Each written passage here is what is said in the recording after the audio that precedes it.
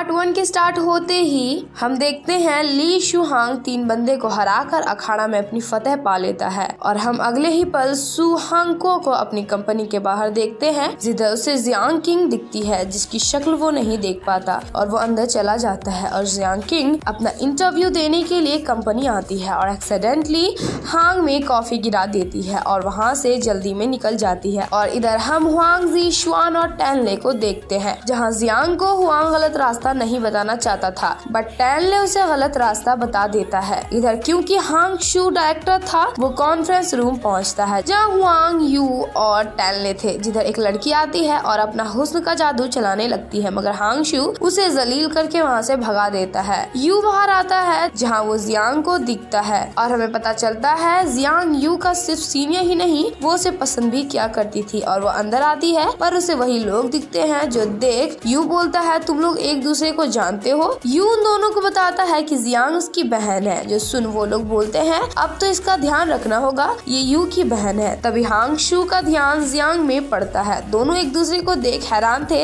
Hong शू जियान को इस room से गेट आउट कर देता है। हांग शू के जाने के बाद ये सारे यूनिटी बना के अपनी बहन को एडमिट करने के लिए पूरी जी जान लगा देते हैं। और यू आकर जियांग को बताता है कि वो एडमिटेड हो गई है, जो सुन जियांग बहुत खुश हो जाती है। और इधर घर पे हांग शू डेस्परेटली सोच रहा था कि बचपन में एक छोटी लड़की ने उसे कैसे नंगा कर दिया था। तभी वहाँ रोना पहुँचती है और उसका ध्यान हटा देती है और उससे अप्रोच करने लगती है कि उसका घर यही है। अगर वो चाहे तो कभी भी आ सकता है बट हांगसू सुनता भी नहीं है। इधर सक्सेस की खुशी में जियांग और रोना पूरी रात भर पार्टी करते हैं और इधर टैनले हुआंग और यू ये सारे भी पार्टी कर रहे थे बट वहाँ हांगशु आकर बोल चला जाता है कि वो लोग आठ बजे कल उनसे मिले। सुबह होते ही यू जियांग के घर के बाहर खड़ा था, जहाँ सज धज के जियांग आती है और उन सभी के साथ डायरेक्टर ली के घर पहुँचती है। हांगशु इन सभी में जियांग को देख हैरान था, क्योंकि उसने तो उसे एडमिट किया भी नहीं था, लेकिन फिर भी वो उन सभी को अंदर बुला लेता है और अंदर आते ही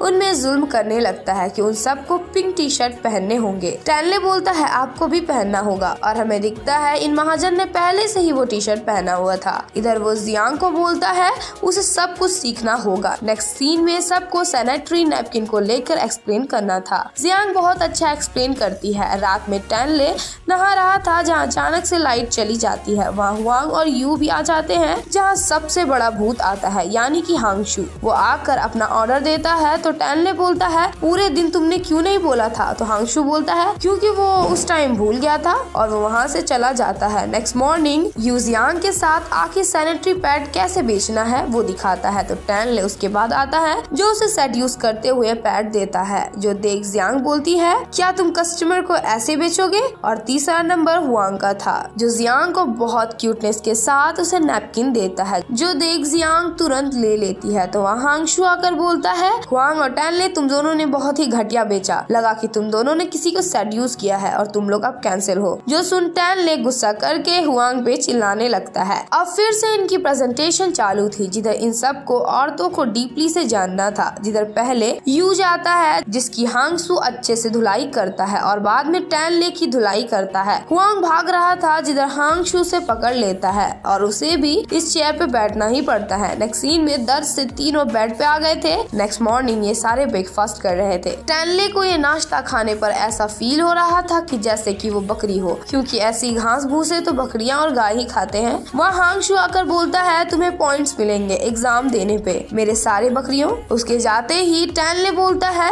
ये पॉइंट दे रहा था या फिर सेड्यूस कर रहा था? यहाँ हुआंग का ध्यान सिर्फ़ और सिर्फ़ खाने पे था। अरे हाँ खाना जैसा भी हो, खाना तो खाना होता है, चाहे बकरी का ही क्यों ना हो। लेकिन टैनले को बस अपनी छोटी बहन के लिए चिंता हो रही थी। तो यू बोलता है, मुझे यकीन है, वो स्मूथली पार कर लेगी। इधर एग्ज़ाम चालू होने वाली थी तो हांगशू टैनले की बॉडी से चीट निकलवाता है। यू बिना चेकिंग किए, उसे चीट दे देता है। और इस फिरहार में हुआंग चीट अपने मुँह में भर लेता है बट बाद में हॉन्ग हांगशू को पता चल जाता है और वो उससे भी चीट निकलवा लेता है।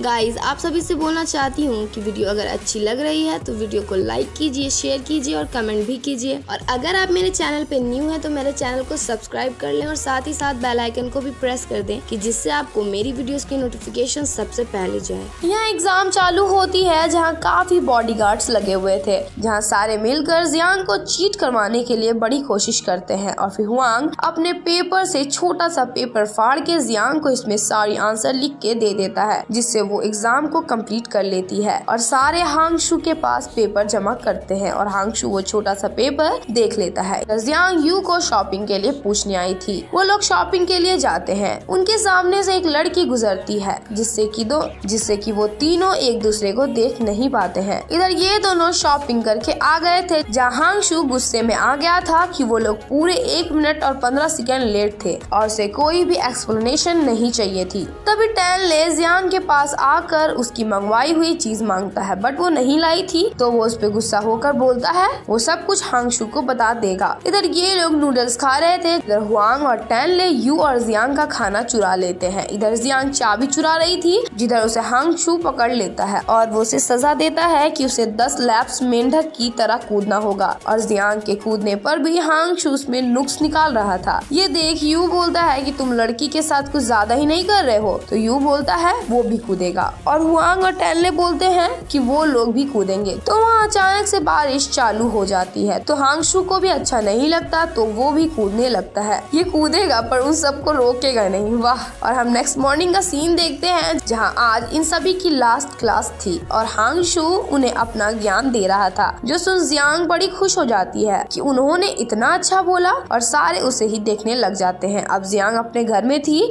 जिसे आज पहली बार ऑफ़िस में जाना था, जहाँ रोना उसे ड्रेसेस देती है पहनने के लिए और जियांग वो कपड़े पहनकर चली जाती है। इधर टैनले यू और हुआंग सारे रिलीफ बैठे हुए थे। जिधर टैनले बोलता है, उसे हांग शू से रिवेंज लेना है। तभी वहाँ रोना आती है, जो कि उस विला की लैंडलॉर्ड थी और रोना उन सारे लड़के को देख पगला जाती है। और इधर जियांग कंपनी में अपने काम में पहले दिन आई थी, इसलिए वो बहुत ज़्यादा खुश थी, पूरे ऑफ़िस को घूर रही थी और वो अंदर आती है जहाँ आते ही हांग शू उसे फायर कर देता है। अपने गंदे रीजन के साथ तो वो उसके ऊपर चढ़ जाती है और अपने रीजन बताने लगती है यहाँ रहने के। हांग शू मान तो जाता है बट उससे एक रिपोर्ट माँगता है और वहाँ से चला जाता है। यहाँ जियांग उदास थी कि कहीं वो फायर न हो जाए, लेकिन रोना अपने छत से टेलीस्कोप से उन विला वाले लड़कों को देख रही थी, जिसमें कि हांग शू भी था। रोना जियांग को भी देखने को बुलाती है तो जियांग की नज़र उस पे जाती है तो वो छिप जाती है और हांगशू भी जियांग को देख लेता है। आखिर चील की निगाह जो ठहरी इस बंदे की,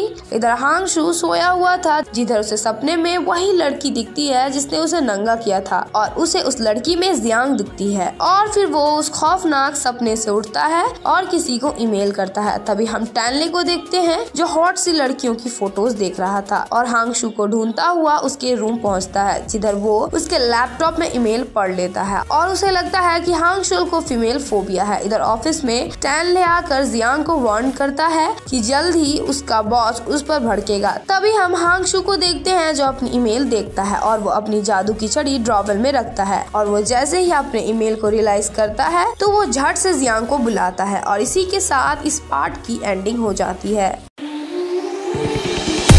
There was a time when you had me falling to the ground like a king without.